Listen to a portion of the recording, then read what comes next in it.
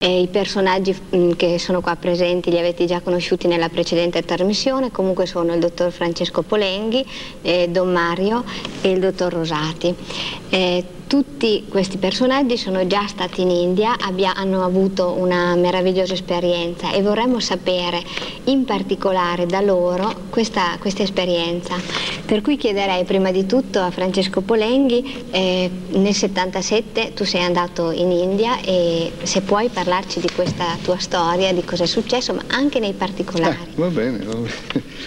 Io mi sono recato la prima volta nel 77, sono arrivato giù mi sono seduto sulla sabbia mentre lui passava e ho visto, vi dico la verità, ero un po' scettico perché assolutamente la prima volta, anzi io direi che bisogna proprio essere scettici, scoprire, aperti alle ipotesi ma andare a vedere, controllare. Mi sono seduto, ho visto Sai Baba che passava e la prima cosa che mi ha colpito è questo vestito arancione, questi capelli così, ho pensato ma che strano che è così.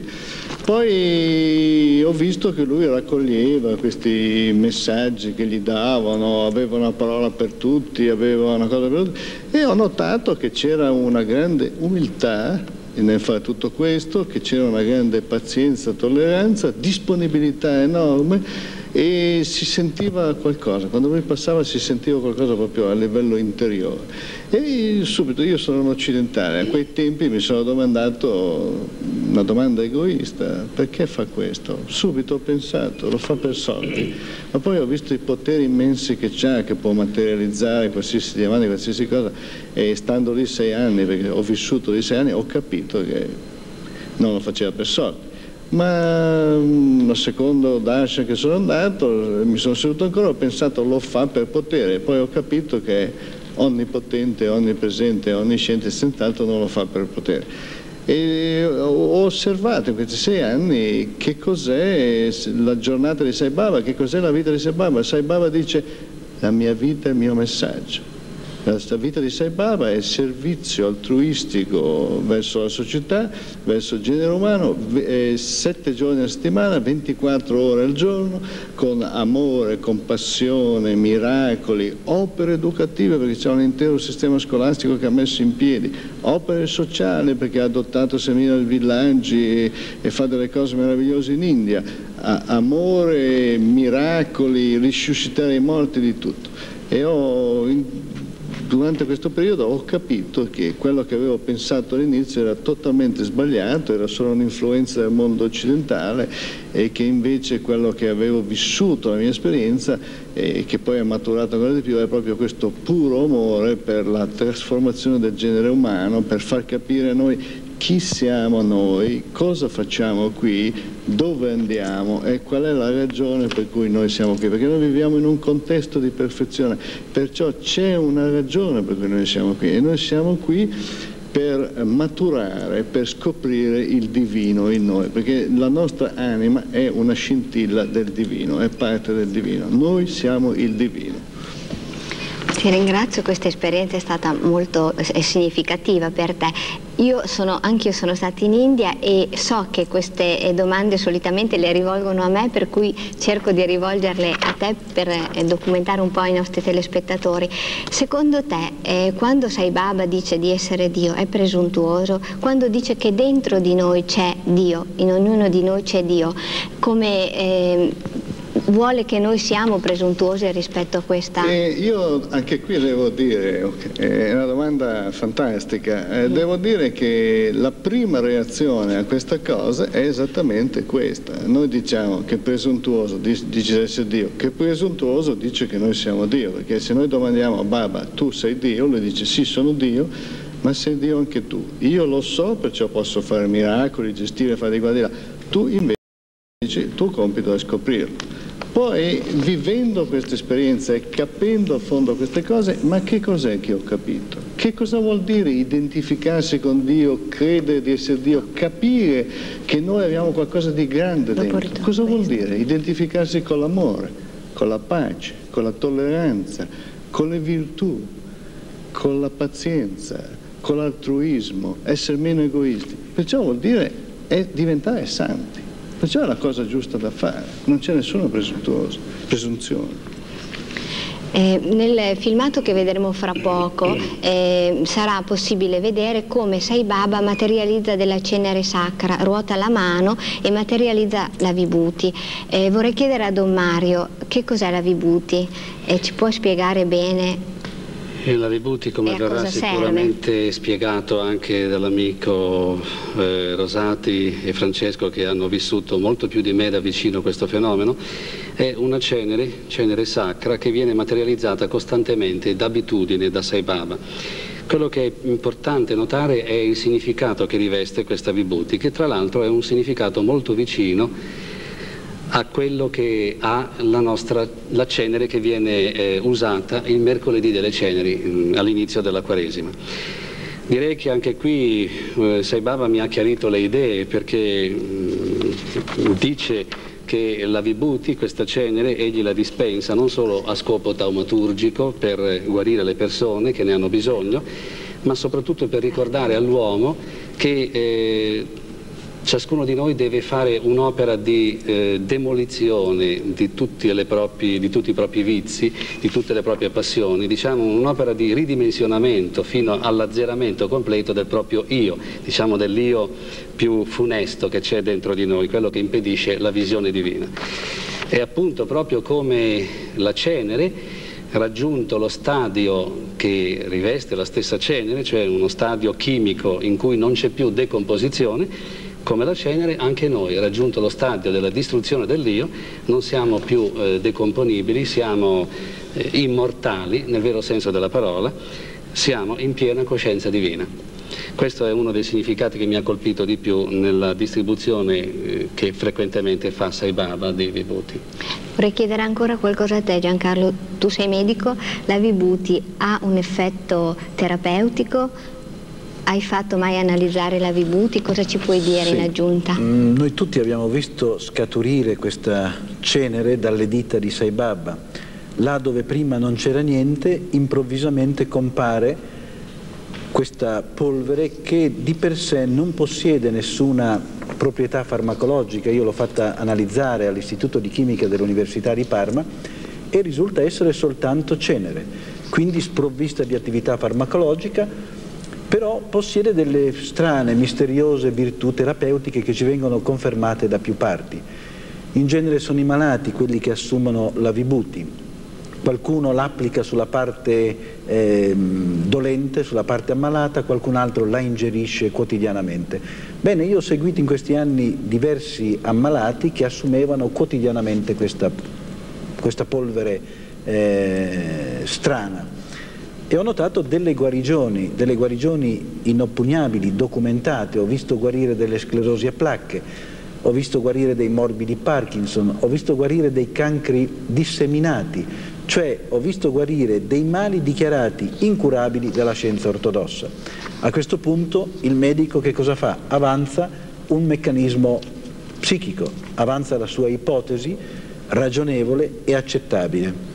Noi tutti sappiamo che qualsiasi gratificazione va a determinare un aumento delle difese, un aumento del sistema immunitario. Il sistema immunitario di difesa viene esaltato e quindi la malattia viene neutralizzata. Al contrario, la depressione, lo stress va a determinare una depressione dello stato immunitario, cadono le difese organiche e quindi i virus, le tossine, i batteri possono eh, entrare nell'organismo, attecchire e determinare la malattia. Il contatto con un, un personaggio carismatico può far scattare questo meccanismo cerebrale, quindi esaltare il sistema immunitario e portare così a guarigione una malattia dichiarata incurabile. Recentemente una nostra amica aveva un tumore cerebrale che aveva determinato una sintomatologia molto ricca e drammatica, eh, l'astenia, la stanchezza profonda, la cecità eh, da un occhio. È andata ugualmente da Sai Baba, Sai Baba l'ha eh, ricevuta e le ha detto ti guarirò. I giorni passavano, la donna stava sempre più male, ma due ore prima di rientrare in Italia Sai Baba la riceve di nuovo e dice non ti preoccupare, il tuo cancro sparirà. Ma la donna disperata insiste, guarirò quando io sto male, sto veramente male. Allora Sai Baba applica la mano sull'occhio cieco e dice da questo momento il tuo cancro è sparito perché questa è la mia volontà. Da quel momento la nostra amica ha cominciato a vedere, sta bene, ha ripreso continuamente e il suo cervello non presenta più le devastazioni che erano state provocate da questo tumore cerebrale. L'evento è abbastanza recente, della settimana scorsa, ed è abbastanza sconvolgente, tanto che io stesso medico mi trovo a dover fare pubblica ammenda, io che sostenevo il meccanismo psichico delle guarigioni miracolose e di fronte ad una guarigione del genere dichiaro che ci troviamo di fronte ad una realtà che non potremo mai spiegare. Sai Baba guarisce istantaneamente, può guarire a distanza attraverso la, la Vibhuti e può produrre anche delle strane guarigioni attraverso dei sogni, ma di questo ne parleremo più avanti. A proposito abbiamo parlato di guarigioni, vorrei chiedere un'altra cosa a Francesco, come mai Sai Baba che è buono ed è disponibile per tutti guarisce alcune persone e non ne guarisce altre? In base a che cosa fa questa? Ma questa è una domanda complessa, si può scrivere un'enciclopedia su questo. E questo ha a che fare sulla nostra matrice del destino che abbiamo dentro di noi. No? Dobbiamo porci una domanda di fondo che cos'è questo mondo? Ci sono 5 miliardi di persone, questi 5 miliardi di persone sono uno alto, uno basso, uno grasso, uno magro, uno muore a 60 anni, uno 90, uno 5 anni, uno 10 anni, uno ha il cancro, uno non lo ha, poi uno ha i figli mongoloidi, uno ha i figli spastici, uno ha grandi disgrazie, uno non le ha. Ma perché tutto questo? Da che cosa è provocato tutto questo? E nel mondo occidentale non c'è una risposta precisa. Io l'ho trovata in India questa risposta ed è la risposta che c'è una causa-effetto a tutto quello che facciamo. Tutte le azioni che io compio hanno insito una, cau una, una causa che darà effetto a qualcosa in una mia vita futura e in questo momento io sono l'effetto di vite passate. Perciò quando Sai Baba si trova davanti a un, un essere umano che deve essere guarito, Sai Baba eh, tiene conto delle leggi karmiche, perché nel 1976 hanno, dei giornalisti di Blitz hanno fatto una domanda a Baba, gli hanno detto Sai Baba perché non cambi tutto in tre mesi?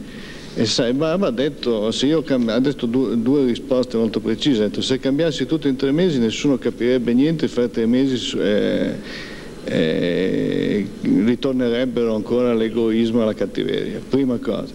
Poi eh, a che cosa servirebbe cambiare fare stare tutti bene e che cosa imparerebbero? Poi terza cosa, ha detto ci sono delle leggi karmiche in cui il, il buono riceve dei benefici, il cattivo riceve dei benefici, tutto si paga e, tutto, e queste leggi vanno osservate, se no verrebbe il caos. Vi, vi, premetto che anche nell'Antico Testamento ci sono queste cose in cui queste città come Sodoma e Gomorra vengono distrutte a causa del comportamento dei loro cittadini. A proposito delle guarigioni vorrei chiederti ancora una cosa, queste guarigioni come avvengono?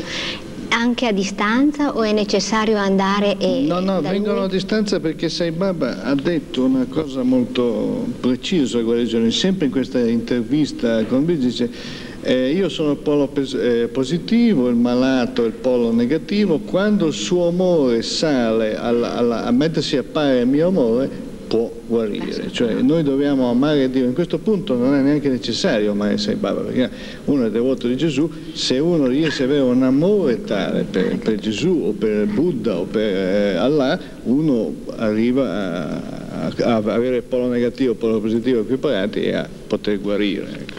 In effetti Sai Baba dichiara L'artefice della tua malattia è la tua psiche, la tua psiche ti fa ammalare, la tua psiche ti fa guarire. Io sono soltanto la matrice d'amore sulla quale opera la tua psiche, sono la matrice che fa scattare questo meccanismo.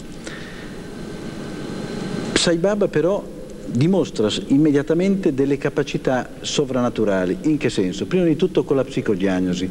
Un dentista si presenta da Sai Baba e dopo aver dialogato con lui, Sai Baba gli dice quando vai a casa fai un check-up. Il dentista torna a casa, si sottopone a un check-up che non mette in risalto nulla. L'anno successivo è ancora da Baba e Baba ancora una volta lo invita a fare un check-up. Ma, dice il dentista, io mi sono sottoposto a tutte le indagini ma non è risultato nulla. Dice vai a casa e riprova di nuovo il tutto. Il dentista si sottopone ai vari accertamenti, l'ultimo accertamento è quello neurologico, ma non risulta niente di patologico. Ne parla allora con il collega neurologo e questo, prudente, lo sottopone ad un attack e l'attack cerebrale mette in risalto un tumore grosso come una ciliegia. Se Sai Baba riesce a penetrare nell'intimo dei nostri tessuti, riesce anche a sconvolgerli, a rigenerarli, può intervenire attraverso quella che noi chiamiamo chirurgia astrale. Che cosa vuol dire? Vi porto alcuni esempi per chiarire, per chiarire il concetto. Un biologo ha un cancro del naso faringe, una notte sogna di vedere Sai Baba entrare nella stanza, il quale con un bisturi apre la lesione, asporta il tumore e se ne va. Questo è il sogno. Al mattino il devoto si sveglia e trova le lenzuola insanguinate, si guarda allo specchio, c'è una grossa cicatrice là dove c'era il tumore che è sparito definitivamente. Una signora presenta un cancro della mammella, sogna che Baba interviene per asportare il tumore, al mattino scopre le lenzuola sporche di un liquido nerastro e ha una grossa cicatrice nella regione mammaria, si sottopone alle indagini del caso e il tumore anche in questo caso è scomparso del tutto.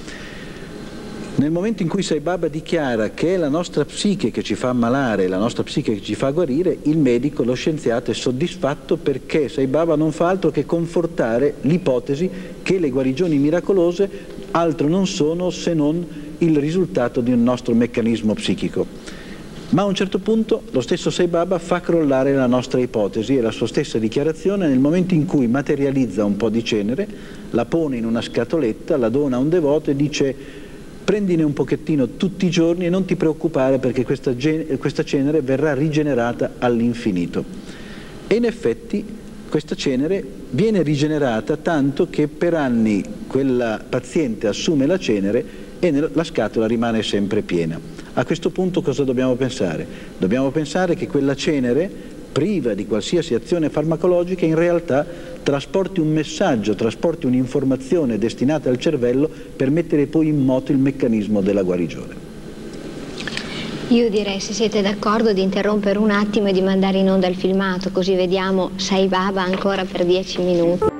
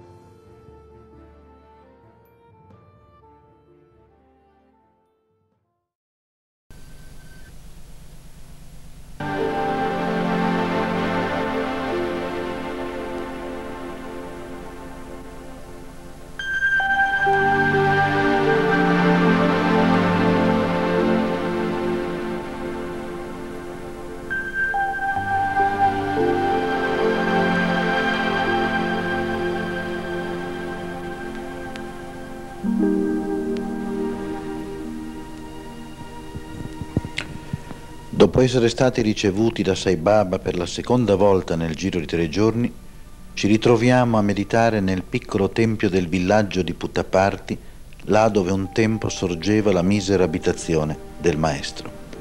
E lì succede qualcosa di misterioso e di insondabile.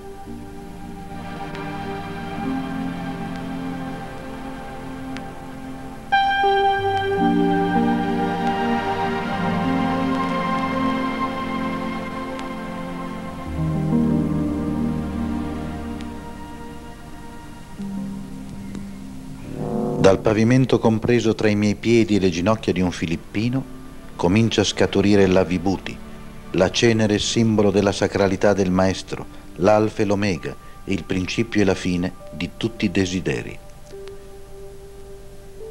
Dopo aver stabilito che la cenere non cade dal soffitto, puliamo ripetutamente le mattonelle per verificare con più scrupolo. Non c'è alcun dubbio la cenere scaturisce dal pavimento o da una dimensione invisibile e impercettibile ai nostri organi sensoriali. 10-15 puntini germogliano in altrettanti mucchietti.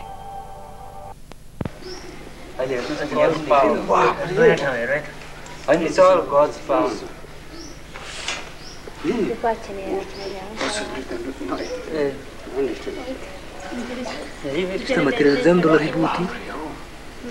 Vedete, si sta materializzando la vibuti.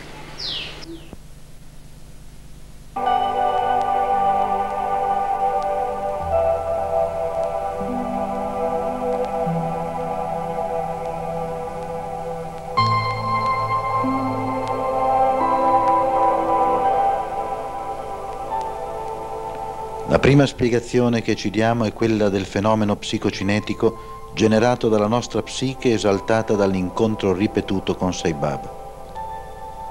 Il custode interrogato riferisce che nel piccolo tempio il fenomeno non si è mai verificato prima e che va inteso come un segno di Baba che vuole dimostrare la sua presenza e la sua protezione.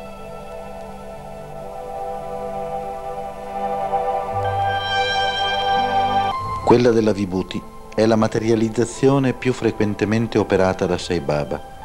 La cenere viene materializzata e donata per gratificare, consolare, guarire. Analizzata presso un istituto di chimica dell'università, risulta essere solo e soltanto cenere, quindi sprovvista di qualsiasi attività farmacologica, eppure le sue virtù terapeutiche misteriose e insondabili vengono confermate da più parti. L'effetto placebo che abbiamo ipotizzato nel prendere in considerazione le guarigioni provocate dall'assunzione di vibuti crolla nel momento in cui ci si rende conto che questa cenere può rigenerarsi spontaneamente all'infinito, quasi trasportasse un'informazione che va al di là del tempo e dello spazio. Pur tuttavia Sai Baba avverte, la paura è la causa principale delle malattie. La tua psiche ti fa ammalare la tua psiche ti fa guarire. Io sono soltanto il catalizzatore, la matrice d'amore sulla quale scocca la scintilla che mette in moto il meccanismo.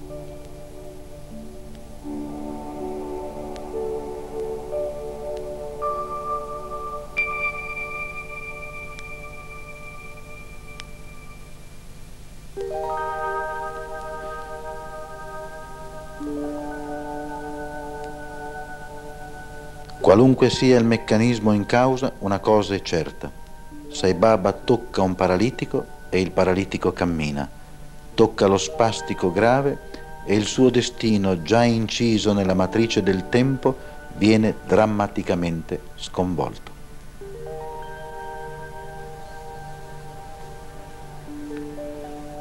Gli storpi camminano, i paralitici si alzano, i ciechi vedono e la mente corre alla terra di Galilea.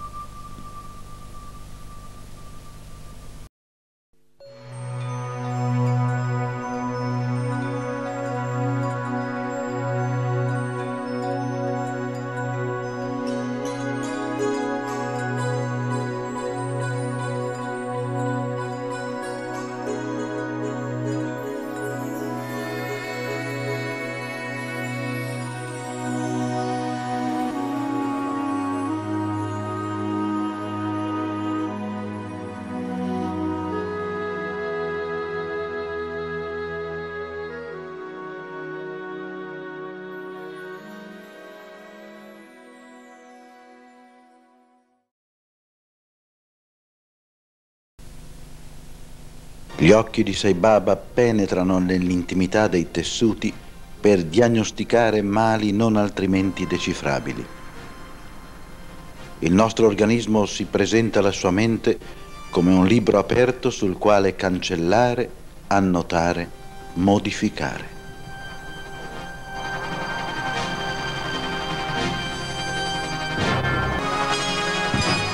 Rispondendo ad una mia domanda, Sai Baba dichiarò la divinità si esprime attraverso la mia mano con la quale posso creare qualunque cosa senza limite alcuno. Io sono Dio, ma anche tu sei Dio. L'unica differenza tra te e me è che io so di esserlo e tu non lo sai. Quando tu scenderai dentro te stesso nel silenzio e imparerai a conoscerti, in quel momento conoscerai Dio e tutto ti sarà possibile.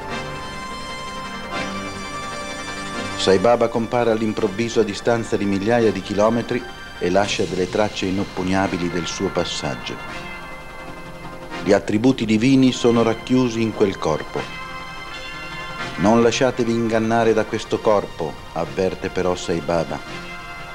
Questo corpo ha soltanto la funzione di farsi vedere e toccare da voi. Al di là però esiste la suprema realtà che è discesa per voi unicamente per amore.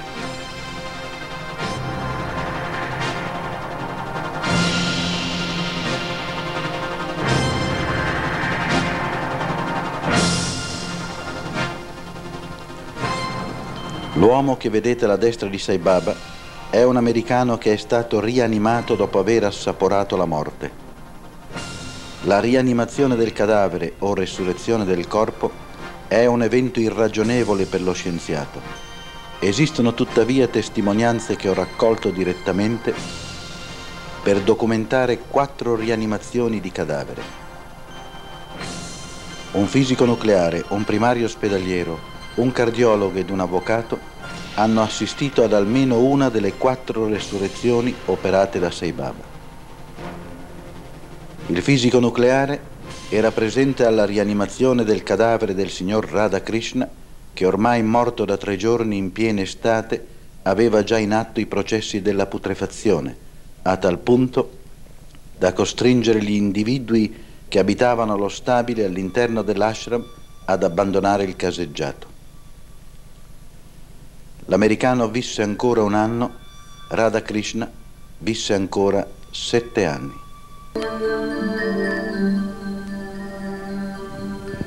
Nel mondo soprannaturale di Sai Baba tutto può accadere. I suoi quadri si ricoprono spontaneamente di vibuti, lasciando scoperto soltanto il volto del maestro. Due medagliette smaltate materializzate da Sai Baba per un devoto di Mysore generano senza sosta da circa vent'anni Amrita, il nettare dell'immortalità.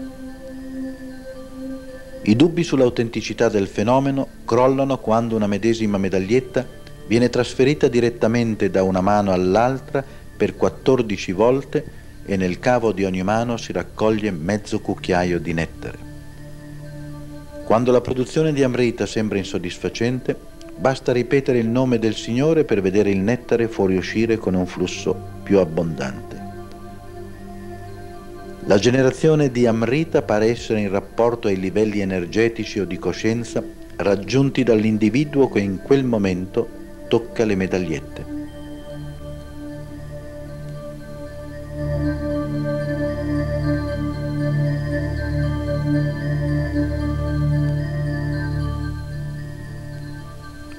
Anche il calco dei piedi del santo di Shirdi non è da meno. Da vent'anni genera Amrita senza sosta per la protezione del devoto. La presenza del Salvatore annunciato dalle profezie e atteso dalle grandi religioni del mondo traduce le nostre incertezze in uno stato di consapevolezza. Il sorriso torna a risplendere. Un oceano di luce avvolge ora l'intera umanità.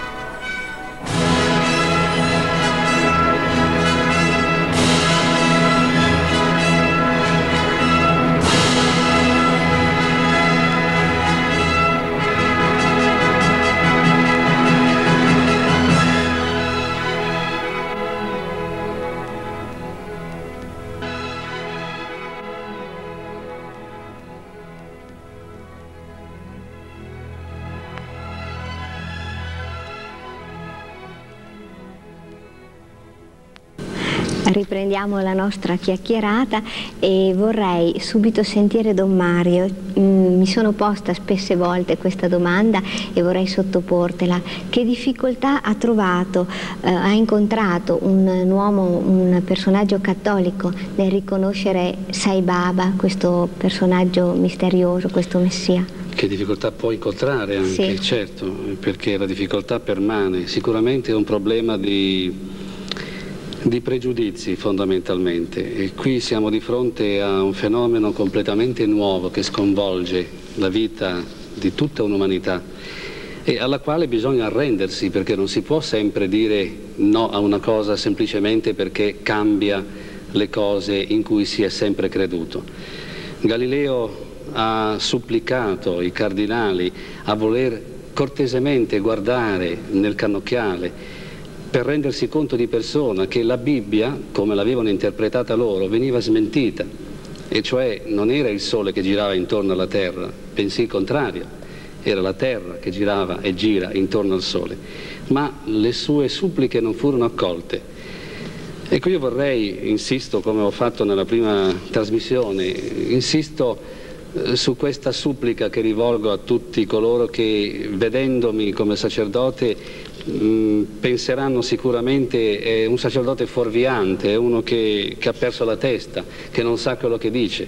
Ecco, io vorrei semplicemente eh, pregarvi di voler guardare all'interno del cannocchiale con i propri occhi, soprattutto con occhi puliti, con occhi puri, e puri nel senso di occhi che hanno rinunciato al pregiudizio. Noi, soprattutto noi cattolici, siamo eh, abbastanza carichi di pregiudizi, i pregiudizi dottrinali, i pregiudizi scientifici che provengono dalla nostra stessa teologia. Non siamo disposti ad abbandonare nulla di quello che ci è stato insegnato proprio perché questo eh, smuoverebbe a tal punto le nostre convinzioni e noi non vogliamo cambiare nulla della nostra vita perché vogliamo dormire sonni tranquilli. Forse Sai Baba, è il caso di dirlo, viene a disturbare il nostro sonno, la nostra pigrizia, per dirci è ora che ti svegli, è ora che ti renda conto di quello che veramente sei. Uno dei grandi pregiudizi teologici eh, proviene soprattutto direi eh, dall'equivoco che nasce eh, sul termine unigenito. Si parla dell'unigenito come di un'unica incarnazione, così si crede almeno, così si dice, si insegna. E allora il cattolico che va a Prashanti che va quindi in questa dimora di pace, che va da Sai Baba, dice non può essere un'incarnazione divina perché mi è sempre stato insegnato che Dio si è incarnato una volta sola in Gesù Cristo. Questo Gesù Cristo è proclamato da tutte le nostre scritture come l'unigenito, mentre dimentichiamo che quando recitiamo il credo diciamo credo in un solo Signore, Gesù Cristo, unigenito figlio di Dio, nato dal Padre prima di tutti i secoli. Cioè l'unigenito è colui che è nato dal Padre prima di tutti i secoli, non è il Gesù di Nazareth. Che poi il Gesù di Nazareth si sia identificato con questo unigenito è un altro paio di maniche. E questa, in questo sta la grandezza del messaggio di Cristo. Questo è, unico, è uno dei, sicuramente dei pregiudizi più, più gravi che condizionano la mente di un cattolico e quindi si sente impossibilitato a credere che il divino possa prendere forma umana. Ecco, io vi pregherei di abbandonare per un momento tutte le convinzioni, di partire da zero come se fossimo due buoni amici che non ne sanno niente. Dimenticate il fatto anche che io sia prete e che abbia studiato teologia e poniamoci questo problema nel nostro concetto. Dio, se è veramente onnipotente, se è veramente capace di tutto, se ha tutte le possibilità, noi a questo Dio possiamo proibire di incarnarsi nelle forme che vuole e in tutti i tempi che vuole? Questa è una domanda che pongo a chi mi ascolta. Mi pare che la tua risposta sia stata molto interessante. Ora vorrei però eh, riproporla al dottor Rosati come uomo di scienza. Tu come hai fatto a riconoscere in Sai Baba il condottiero spirituale della nostra epoca? Io ho una mente analitica e quindi sono stato costretto ad affondare il mio bisturi più in profondità. E così negli antichi testi sacri ho scoperto che questi grandi condottieri spirituali, le incarnazioni divine, dovevano portare con sé alcuni segni ben precisi per essere riconosciuti. Quali erano questi segni? Innanzitutto dei segni cutanei che dovevano comparire necessariamente sulla parte sinistra del corpo, in secondo luogo i kalas, cioè gli attributi divini, e infine dovevano essere annunciati dalle grandi profezie. Bene, i segni cutanei sono un neo sulla guancia sinistra e un garuda sull'emitorace sinistro. Il garuda è un'aquila, un segno divino. Bene, Sai Baba ha un neo sulla guancia e ha un garuda sull'emitorace sinistro. Questi condottieri devono possedere, ho detto, anche i kalas, cioè gli attributi divini, vale a dire il completo controllo delle facoltà psichiche, il controllo assoluto sul corpo fisico, il controllo su tutti gli elementi della natura, vale a dire onnipotenza, onniscienza, onnipresenza. Bene, Sai Baba ha la capacità di controllare la psiche, la propria psiche e la psiche degli altri, legge il vostro passato e il vostro futuro, legge nei vostri pensieri, ha la capacità di affondare i suoi occhi all'interno del vostro organismo ha la capacità di frenare la furia della natura, ci sono molti esempi e non abbiamo il tempo per eh, portarveli, ha la capacità di controllare il corpo fisico al punto da determinare guarigioni istantanee e di prolungare persino la vita.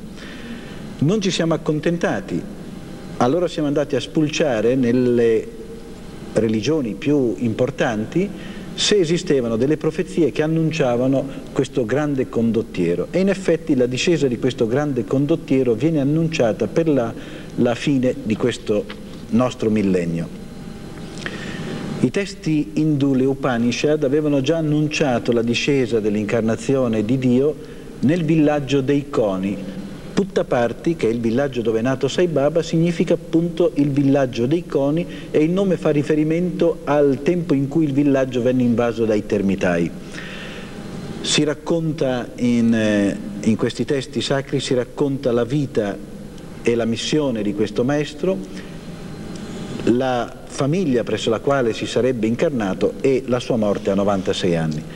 3200 anni fa lo Shukanadi, un'analisi astrologica scritta su papiri, prevedeva la discesa di questo condottiero, descriveva l'albero genealogico della famiglia, il villaggio in cui sarebbe nato e addirittura tutti i miracoli che avrebbe compiuto prima dell'anno 2000 e dopo l'anno 2000. Ma avviciniamoci un pochettino di più alla nostra cultura e troviamo San Giovanni. San Giovanni nella sua Apocalisse che cosa dice? E vidi il cielo aprirsi ed ecco un cavallo bianco e colui che lo cavalca si chiama il verace e il fedele.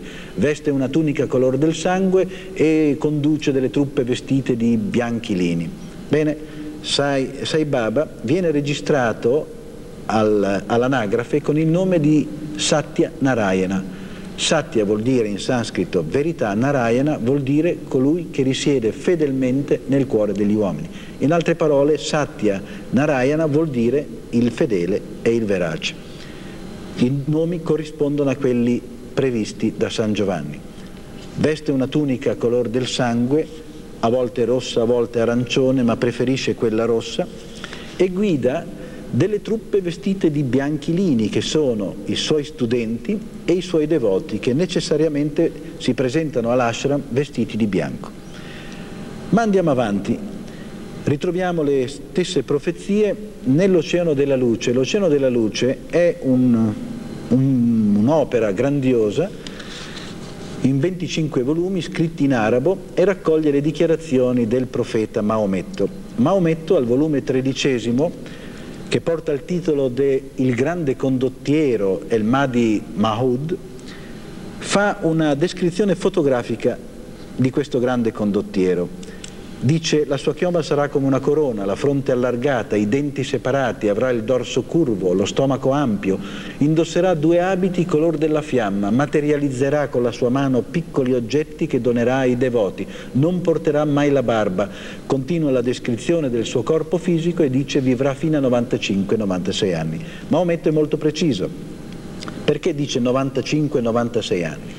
Perché secondo il calendario eh, indiano Sai Baba vivrà fino a 95 anni, secondo il nostro calendario vivrà fino a 96 anni, per un motivo molto semplice.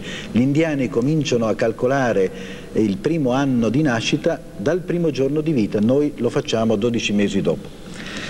Se ci avviciniamo ancora all'interno della nostra cultura, vediamo che nel 1935 quello che sarebbe diventato poi Papa Giovanni XXIII, Roncalli, aveva fatto delle previsioni e parla di un grande santo scalzo che in India predica anche per il Papa cristiano. Da lui, dice Papa Giovanni, verrà al mondo un nuovo ordine di cose. La descrizione è molto precisa e qualunque eh, lettore potrà identificare nel santo scalzo il condottiero spirituale che oggi vive in India. Ecco, io ho cercato di analizzare questo personaggio prima di accettarlo fino in fondo, proprio perché è la mia mente analitica che mi spinge a fare questo. Ci saranno delle persone che potranno accettare Sai Baba proprio perché hanno già un livello di coscienza tale eh, eh, che consentono di recepire immediatamente il messaggio senza spulciare, senza analizzare, senza verificare. Io sono stato costretto a farlo. Io vorrei aggiungere una cosa, cioè quando si entra in contatto con Baba si capisce immediatamente che c'è in lui onniscienza, onnipresenza e onnipotenza. Questi sono proprio i simboli del divino, i poteri del divino. Poi eh, Sai Baba fa anche una cosa meravigliosa, dice cose come questa. Non siate devoti di questo mio piccolo corpo, ma siate devoti dei miei insegnamenti. Tutte le forme sono mie, andate oltre tutte le forme, andate all'assoluto. E qual è l'insegnamento base di Sai Baba? Quello, quello pratico, dice con parole semplici, umili, fantastiche, vedi bene, pensa bene, senti bene, parla bene, agisce bene, questa è la via per Dio. Ecco, questo è davanti a questi esempi, a queste cose, a queste esperienze vissute per sei anni, costante prova di queste cose, non ci sono dubbi. Vorrei fare un'altra domanda a Don Mario. Mi pare di aver capito dalla puntata precedente che eh, ognuno di voi, dopo aver recepito il messaggio di Sai Baba, ha, si è riavvicinato alla religione cattolica, ha, ha, cercato di esaminare meglio il messaggio cattolico. Vorrei chiedere proprio a te personalmente che cosa arricchisce eh, questo messaggio di Baba? Che cosa ha arricchito della tua conoscenza della religione cattolica? Ti ringrazio di questa domanda perché la posso integrare dicendo anche che Sai Baba ha, in qualche modo mi ha aiutato a riscoprire la bellezza e la profondità del mio sacerdozio, che forse purtroppo per le varie vicissitudini che uno vive nella vita uno finisce anche per perdere, no? finisce per eh, perdere di vista. Io sono grato a Sai Baba, per me è il più grande amico che abbia mai potuto incontrare in questa vita. Sono grato a lui proprio perché mi ha insegnato a ritrovare quello che in qualche modo avevo perso oppure avevo lasciato che si coprisse di, di tenebre. Che cosa dà Sai Baba alla religione cattolica, al cristianesimo o a tutte le religioni vorrei dire? La malattia più grave che noi stiamo soffrendo, che l'umanità sta soffrendo in questo momento, è la mente, è lo stato mentale in cui eh, appunto l'uomo riconosce la sua più terribile deformità e la sua più grave malattia. Sai Baba lavora proprio all'interno della mente, ci aiuta, ci insegna a lavorare sulla mente, a cambiarla. Prima era stato detto che, dal dottor Rosati che appunto la malattia dipende proprio da uno stato mentale e questo anche i medici mi pare siano eh, arrivati a riconoscerlo. Si parla infatti di, eh, di malattie psicosomatiche sempre di più.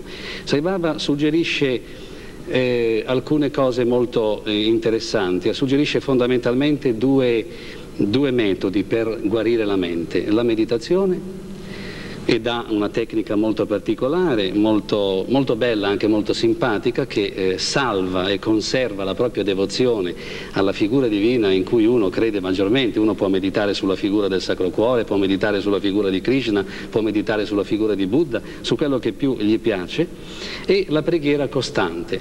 Cose che sono sempre state insegnate anche da noi, anche nel cattolicesimo, ma che sono andate perse e in questo sta l'originalità del messaggio di Sai Baba. In duemila anni il cristianesimo ha permesso, o meglio gli uomini hanno permesso che in duemila anni nel cristianesimo si eh, formassero delle incrostazioni, delle sovrastrutture che hanno ottenebrato l'originalità del messaggio. Sai Baba fa un'opera di eh, diciamo, di pulizia e suggerisce appunto delle tecniche particolari per raggiungere eh, il pieno potenziale della propria mente. Mi pare che la tua risposta sia stata molto completa e molto significativa. Passerei un attimo la parola al dottor Rosati. Vorrei dire una cosa. La prima volta che sono andato da Sai Baba, Sai Baba mi ha detto tu sei Dio, io sono Dio e so di esserlo, tu sei Dio e non lo sai. L'unica differenza tra noi è proprio questo. Questa dichiarazione mi ha lasciato un po' sconvolto perché nessuno mi aveva mai detto che anch'io ero Dio. Poi spulciando dei Vangeli gnostici, questi Vangeli che sono stati eh, scoperti recentemente nell'Alto Egitto, ho trovato una frase nel Vangelo di Tommaso che dice, attribuita naturalmente a Gesù, Tommaso e Filippo erano stati autorizzati da Gesù a raccogliere le sue dichiarazioni, Gesù dice il regno dei cieli è dentro di voi, scoprite voi stessi e smuoverete persino le montagne. E nel momento in cui noi ci rendiamo conto di questa realtà, non abbiamo alternative, dobbiamo soltanto cercare di realizzare questo nostro io interiore, questa scintilla divina che è dentro di noi.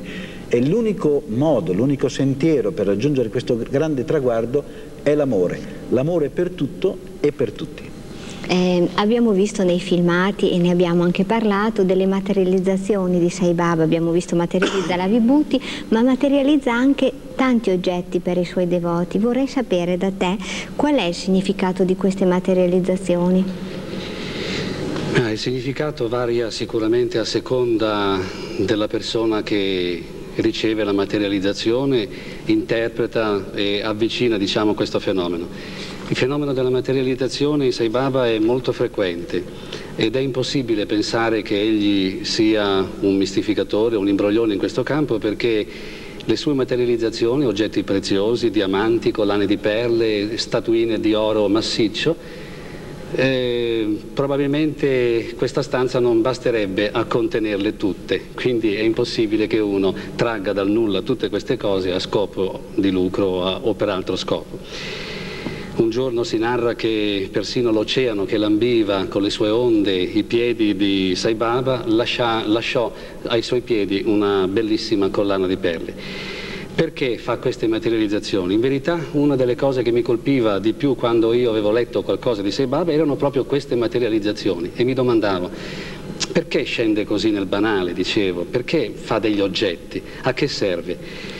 Ho dato a me stesso una risposta, un'interpretazione. Saibaba, forse l'ha suggerita lo stesso Saibaba, Saibaba è come se ci dicesse voi uomini del XX secolo, amate tanto l'oro, amate tanto il diamante, amate tanto il denaro, guardate com'è facile materializzarlo. Seguite dunque le cose più importanti, quelle per le quali eh, si fa più fatica, ma che durano di più. Direi che questa è una buona lezione per tutti. Eh, vorrei adesso ehm, che Francesco ci raccontasse qualche storiello, qualche aneddoto, perché ho sentito molte delle tue storielle, mi hanno aiutato ad avvicinarmi a questo personaggio e a conoscerlo meglio, per cui ti sarei grata se nel poco tempo che ci resta ci raccontassi una storiella. Eh, ne ne so talmente tante che sono imbarazzato, ma quella che viene prima alla mente è quella di Gustav, un medico tedesco, è rimasto lì un po' di tempo e un giorno Baba lo chiama in un'intervista e gli dice come dormi di notte?